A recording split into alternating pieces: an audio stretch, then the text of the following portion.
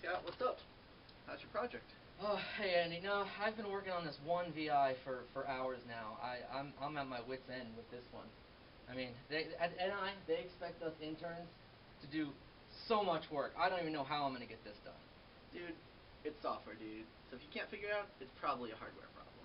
Yeah, anyway, yeah. I gotta run. I gotta get some work done before I head to a few meetings. So All I'll right. catch you later, man. All right, man. See you around. Hey, Lauren. Hey, Ross. What's up? Lauren, how is he always at meetings? Is he in marketing or something? I wonder what he's actually doing all day.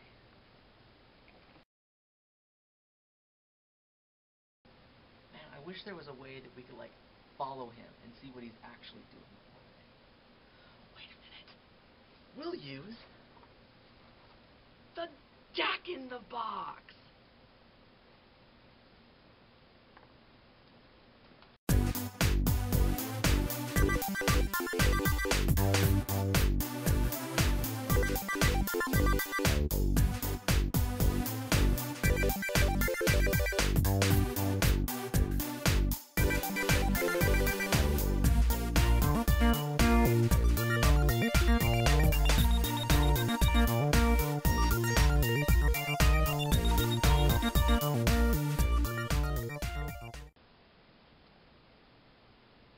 I heard something. Hmm.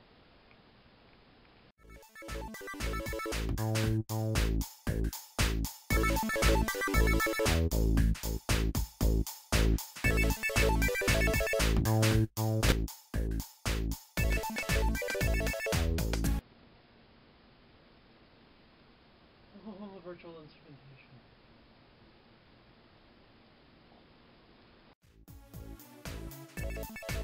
Oh,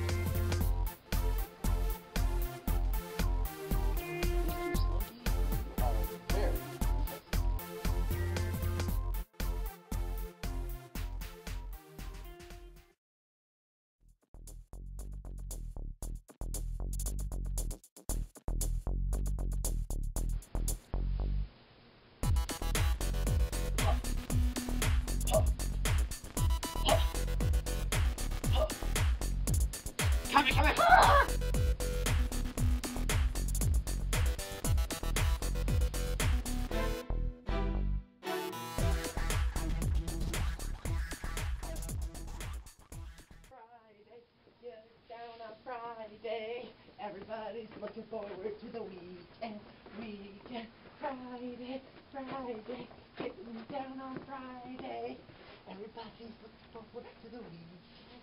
Weekend, party and party yeah, party and. So that's what he does all day. I kind of expected as much.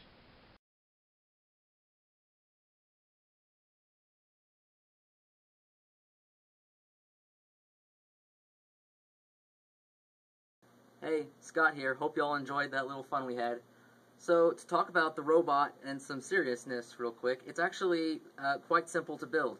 We used the box that the myDAQ actually came in as the chassis for the entire thing. We used one half of a uh, soda can as a front skid. Um, we used a dual motor gearbox kit that you can actually buy almost from any hobby shop. We actually got this one from Fry's Electronics.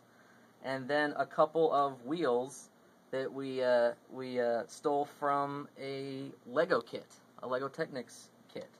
And then as far as uh, electronic circuitry, aside from the myDAQ, we have an L293 H bridge, soldered up dead bug style, and a uh, one microfarad capacitor.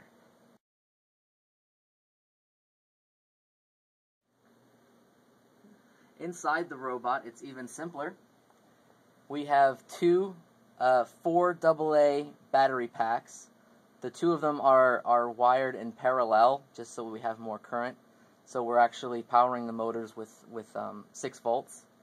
And then the, the four control lines from the H bridge are simply tied into uh, digital I.O. lines 0 through 3 on the myDAQ.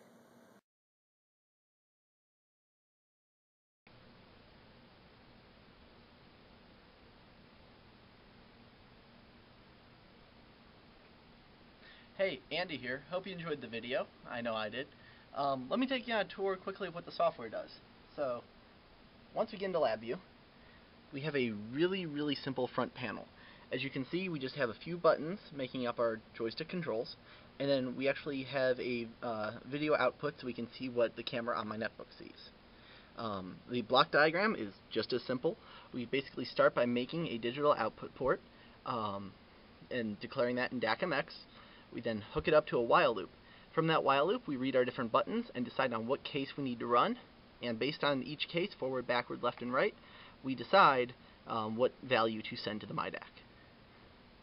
Um, of course, there's a stop button, and once that's pressed, uh, it will terminate the application. In addition to the stop button um, and the DAQ application, we also thought it'd be cool to actually see what we were doing. So we dropped down a quick Vision uh, Acquisition Assistant from the NI Vision module and just wired a simple wired it to our uh, video output. Pretty straightforward, pretty simple. Took me about 15 minutes to make.